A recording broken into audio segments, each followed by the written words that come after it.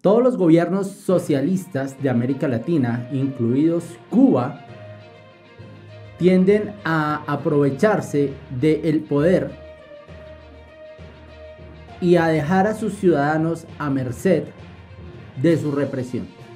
En esta ocasión no es para nada extraño por parte del gobierno cubano que ha decidido dejar a Cuba sin internet con la sencilla premisa de no permitir que salga toda esta represión a la luz, que salga toda esta represión a las redes sociales y a los diferentes medios informativos y que quede todo oculto, puedan hacer y deshacer en la isla y el mundo no se vaya a enterar.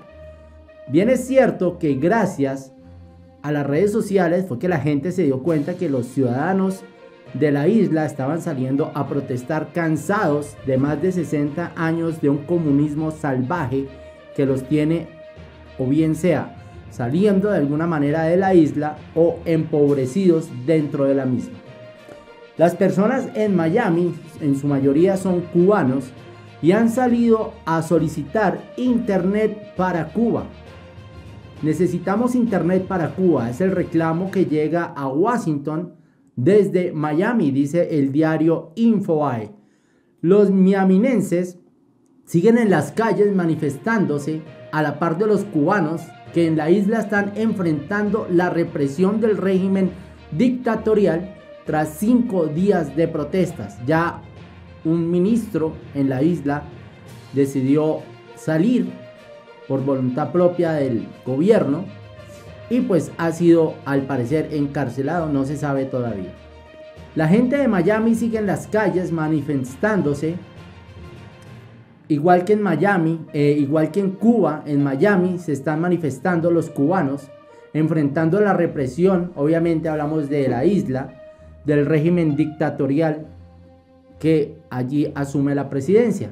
En la ciudad de Hialeah, segunda ciudad más grande del condado de Miami-Dade y la ciudad con mayor concentración de cubanos por fuera de Cuba, centenares de personas se congregaron al grito de libertad, muchos de ellos exigiendo una intervención militar de parte de los Estados Unidos en Cuba.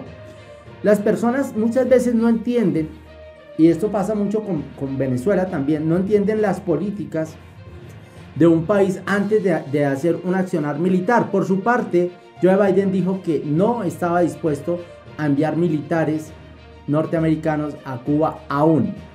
Hoy un pequeño pero muy vocal grupo compuesto por mayormente por cubanos americanos se acercó hasta la alcaldía de la ciudad de Miami para entre otras cosas pedir que Estados Unidos busque la manera de proveer internet a la isla. De esto ya se han manifestado diferentes autoridades en los Estados Unidos y están buscando la manera de llevar internet, conexión a internet totalmente gratuita a toda la isla. Están mirando esa posibilidad. ¿Cómo lo lograrían hacer? Pues digamos que en esta ocasión las Big Tech o grandes empresas de tecnología como lo ha hecho Facebook con su programa Internet gratis en África, pues serían las que más eh, podrían ayudar en este caso. Necesitamos que encuentren la forma de llevar Internet a la isla. Están matando a nuestros familiares y el mundo tiene que saber lo que está pasando en la isla. Decía ante la prensa la actriz Claudia Valdés, una de las personas que convocó a esta manifestación en Hialeah, en el condado de Miami-Dade. El alcalde Francis Suárez se reunió con el grupo cubano-americano. Tras el encuentro juntos junto a los manifestantes, habló con la prensa citando a Martin Luther King, una injusticia en cualquier lado es una amenaza a la justicia de todos. Este no es un problema cubano, es un problema global, decía Suárez, quien además tuvo un periodo eh, concreto al gobierno, le pidió al gobierno de los Estados Unidos que por favor vayan a Miami y les expliquen en detalle qué es lo que se puede y lo que no se puede hacer para ayudar al pueblo cubano, afirmando, afirmó esto entre aplausos de los presentes mientras confirmaba que ha tenido charlas con empresarios tecnológicos para consultar de qué manera se puede proveer de internet a la isla. Este es el pedido que están haciendo las personas en los Estados Unidos, en Miami, donde hay más concentración de cubanos, eh, fuera de Cuba, obviamente, a nivel mundial, están pidiendo que miren la manera, las tecnológicas, de llevar internet a la isla para que nos enteremos, porque desde que quitaron el internet no han vuelto a aparecer videos, imágenes, absolutamente nada.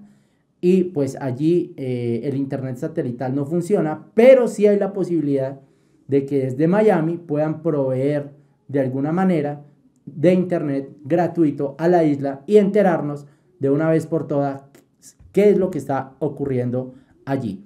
Esta es la información de hoy. No olvides suscribirte, comentar, darle like. ¿Qué opinas acerca de que puedan darle internet a la isla? ¿Es bueno? ¿Es malo? Nos vemos en el próximo video. Suscríbete, no olvides activar la campanita